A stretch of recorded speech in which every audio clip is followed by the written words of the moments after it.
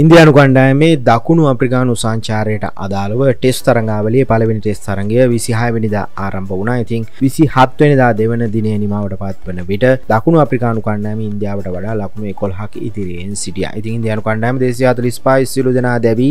රාහුල් තමයි ඉතාමත් හොඳ මීනිමක වඩා කරන්නේ. ලකුණු සියක්ත එකසිය එකක් ලබා ගැනීමට සමත් වුණා. අවසාන කඩුල්ල දක්වාම ක්‍රඩා කරලා ඔහ හැරෙනර තිස්සටක් කෝලි අයර් තිස්ස එකක් විසිහතරක් තාකුර ලබාගත්තා ක්‍රඩක ඉතින් සාර්ථක නැහැ. ගොමහරි මේක ගත්තහම කඩලු පහක් ප්‍රබාඩා ලබාගත එක වාර්තාගත කඩලු පහක් නැතම් ජාතියන්ත්‍ර කඩලු පන්සිය පසු කරගෙනයාමට රබාඩත් සමත් වනා කියනෙ අපි කතා කර. ඉදි කොහොමහරි දකුණු අප්‍රිකානු කණ්ඩායමෙත් ඒ තරම්ම හොඳ ආරම්භයක් ගන්නට පුළුවන් වනා කියල කියන්නට බැහැ මොකද ලකුණු කොළහකදී මාක්‍රම් දැබී යනවා පලවෙනි කඩුල්ල විදිහට. නමුත් එල්ගා අනි පැත්තින තන් ආරම්භක පිතිකරුවන් විදිහටාව මාක්‍රම් සහ එල්ගා. තකොට එල්ගා අපි දන්නවා මෙම තරංගාවලියෙන් පස්සේ ඔහු විශ්‍රාම ගැනීමට තමයි නියමිත වෙලා ඉන්න. දීර්ඝ ටෙස්ට් ජාතියන්ත්‍ර ක්‍රඩාවක් ක්‍රඩා කරලා විශේෂම ටෙස් ක්‍රඩකෙක් ඊටපු නායකෙක් ඔහු වාර්තාගත අවසානයක් වාර්තා කරන්නට තමයි යන්න. ලකුණ එකසි හතලියක් ලබාගන්න පන්දු දේශය කොලාකින් නොදැවී. තවමත් ක්‍රඩා පෙටි රැඳී සිටිනවා. හදරේ පහරවල් විසිතුරක් විතරයි හෝවෙල්ල කල්ලා තියෙන්නේ.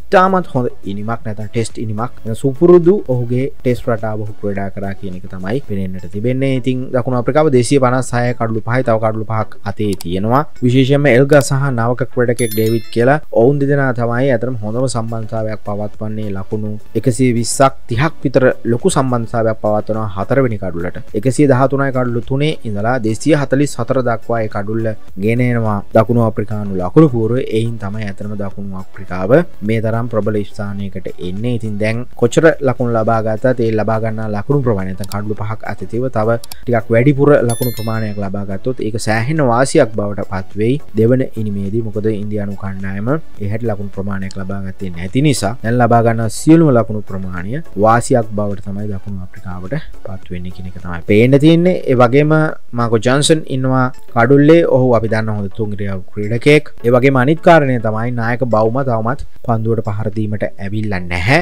ඉතින් ඔහුගේ යම් කිසි ආබාධයක් ඇති වුණ කකුලේ පලවෙනි දිනේ පලවෙනි භාගේම ඉතින් පේන්න තියෙන විදිහට ඔහු තරගෙන් ඉවත් වෙන එකක් නැ හිවත් වෙනවා නම් ඇතම ඔහුට ෆ්‍රීපලේස්මට එකක් එන්නට ඉඩ තිබ නමුත් එහෙම එකක් පේන්න නැහැ. ඔහ පන්දුවට පහරදීමට කොයි අවස්ථාවක හරි ඒ වගේත් පේන්න තියෙනවා. එතර කෝත්සිත් ඉන්නවා ප්‍රඩා කරන්න. එහෙම බලපුම තව පිතිකරුවන් දෙතුන් දෙනෙක් ඉතිරි වෙලා ඉන්න දකුණු අප්‍රිකාවට. හරියාකාරව තුන්ගෙන දිනේදී ඔවුන් මේක කළමනා කරණය කරගත්තොත් එල්ගත් එක්ක නැතන් එල්ගට සහය දුන්නොත් අනිත් ක්‍රේඩකයෝ ටික සමාරක් විට ලකුණු සියක් එකසිය පණහක් ඉදිරියට ගිහිල්ලා ලොකු ස්ථානයකට එන්නට පුළුවන් වේ දකුණු අප්‍රිකාවට. එහෙම වුණු ඉන්දයානු කණ්ඩෑමට ප්‍රබලා බියෝගයක් බවට පත්වෙනවා. අනිවාර්යම දෙවන ඉනිම ක්‍රඩා කිරීමේදී. ද බල මොකද වෙන්න කියලා තුන්වෙන දිනය ආරම්භවීමට නීමිතයි විසි අටවෙනිදා දෙවන දිනය අවස්වානයේදී එල්ගා දකුණු අප්‍රිකාවේ ගෞරවය රකිමින් ඉන්දියාව තම පාලනය අතට ගත්ත කියලා තමයි කියන්නට තිය චැනල් එක සබස්ක්‍රයිබ් කරන්න. සීනුව බලා වැඩසටහන් අපගොම්ම දැනගන්න. අපගේ YouTube නාලිකාව Facebook පේජය ඉන්ස්ට්‍රග්‍රම් ටික්ටොක් සියල්ලම ෆලෝ කරන්න.